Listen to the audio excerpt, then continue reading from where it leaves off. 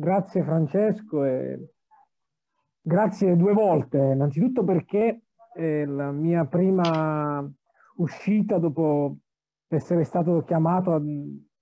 da Stefano, da Nicola Zingaretti a dare una mano all'organizzazione del partito e in particolare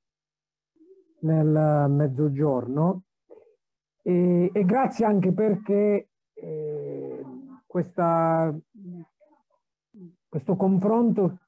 al quale siamo chiamati eh, ci restituisce un po' anche la necessità, che sarà un po' forse il mio compito, di essere eh,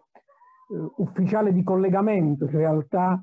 eh, dell'organizzazione, alcune volte anche delle percezioni, del clima e, e, e anche ovviamente di una ripresa di un'iniziativa politica del partito e in particolare nel mezzogiorno di cui abbiamo bisogno. Sono tanti gli interrogativi e gli spunti che sono venuti dagli interventi, ovviamente molto interessanti e sui quali avremo, Francesco, e ti offro, ti rinnovo la mia disponibilità, magari ulteriori incontri eh, nei quali approfondire, ma tuttavia io voglio provare a dare una, offrire una chiave di lettura che sta tutta dentro il documento a cui hai fatto riferimento nella tua introduzione approvato dalla segreteria nazionale e eh, restituisce dal mio punto di vista senso e valore alla partecipazione e anche al finanziamento della politica, perché il tema è tesseramento il 2 per 1000 in questa fase. Su interrogativi che si sono posti anche nell'ultimo intervento, l'organizzazione non è qualcosa di avulso al contesto politico, al profilo politico, alle scelte strategiche sulle quali, ai valori sui quali in qualche modo sei, eh, sui quali sei impegnato. E allora io vorrei fare insieme a voi un esercizio di, diciamo, di, di riflessione che tende a restituire anche a me elementi di maggiore forza nell'affrontare questa sfida complessa eh, insieme a Stefano di rilanciare l'organizzazione di un partito in una condizione di liquidità, di fluidità, eh, e ancora di più dopo il Covid-19, in realtà ci siamo ancora dentro, di grande senso di smarrimento di una comunità che si è difesa dal virus, che ha attaccato il virus difendendosi, cioè chiudendosi nelle case, che adesso in realtà ci pone il grande interrogativo di come noi eh, in realtà ci difendiamo dalla crisi attaccando. E allora qui io credo che gli elementi di speranza siano uh, fondati sul fatto che l'esperienza del Partito Democratico, se ci riflettiamo per un attimo, da quando è nato dai gazebo, dalla prima segreteria di Walter Veltroni, ehm, ci pone in una condizione inedita oggi, cioè lo stampo riformista di questo partito io credo che oggi più che mai si possa in qualche modo forgiare, perché l'esperienza iniziale del Partito Democratico con Veltroni, voi la ricorderete, nasce il PD ma siamo dentro una sconfitta. Poi c'è un'esperienza complessa, complicata, che ancora tutti voi ricorderete, che è quella del governo Monti, su cui noi abbiamo dovuto assumere il peso in qualche modo dell'austerità, della difficoltà di un paese che stava lì lì precipitando nel baratro, eh, diciamo, scivolando dentro una crisi eh, dei conti pubblici, ma non solo, di, diciamo, di un paese che rischiava, si diceva allora, la fine della Grecia. E poi, come dire, siamo arrivati primi, ma non abbiamo vinto. Eh, la nascita del governo Letta, la vicenda del Presidente della Repubblica e poi un governo, quello successivo a Letta bis Renzi, che è iniziato in un modo determinato ovviamente con risultato catastrofico delle politiche del, diciamo, del 2018, che ci insegna ancora di più che noi abbiamo bisogno di una vocazione comunitaria e maggioritaria allo stesso tempo perché le vocazioni solitarie non ci aiutano. Perché dico siamo in una fase interessante su cui l'organizzazione secondo me può poggiare una ripartenza? Siamo in una fase interessante perché per la prima volta questa emergenza ci pone di fronte ad un investimento pubblico di eh, proporzioni inedite,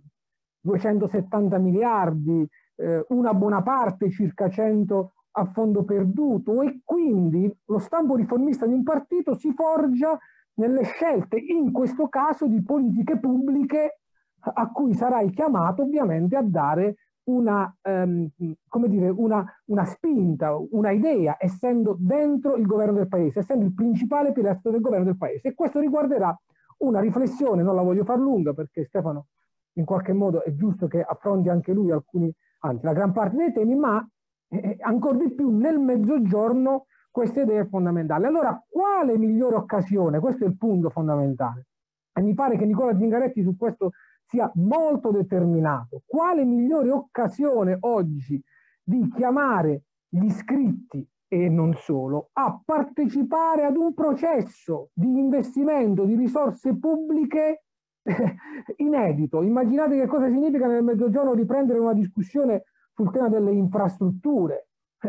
che significa nel mezzogiorno un tema della riconversione energetica, penso all'ILVA come ha sottolineato più volte Zigaretti, ma anche ad altre vicende, alla mia Basilicata, come dire, al passaggio tra petrolio e riconversione energetica e riconversione ecologica. Penso al grande tema del turismo, dell'agricoltura, che è un altro tema legato allo sviluppo delle tecnologie, alla tracciabilità, al blockchain, cioè siamo di fronte oggi, adesso, a una inedita fase nella quale possiamo da una parte forgiare il nostro profilo riformista e dall'altra ovviamente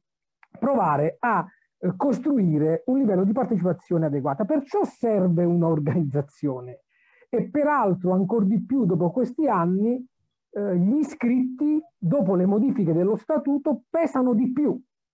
perché io che ho fatto il segretario regionale del PD quando appunto il partito del PD l'ho fatto con le primarie. Poi le primarie sono diventate altra cosa.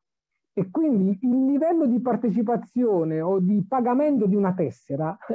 era quasi equivalente al fatto che si organizzavano le truppe cammellate per andare ai gazzetti ed eleggere il segretario di partito, non un sindaco, non un presidente eh, di regione. Ecco, le modifiche dello statuto, secondo me, che sono state introdotte, che hanno mostrato anche una coerenza rispetto alla proposta politica che Zingaretti ha fatto e su cui sta lavorando Stefano nell'organizzazione, secondo me attribuiscono all'iscritto un peso maggiore rispetto al passato, quindi un maggior peso rispetto agli iscritti, degli iscritti una maggiore opportunità di forgiare il nostro profilo riformista con una politica espansiva che nei prossimi mesi dovremo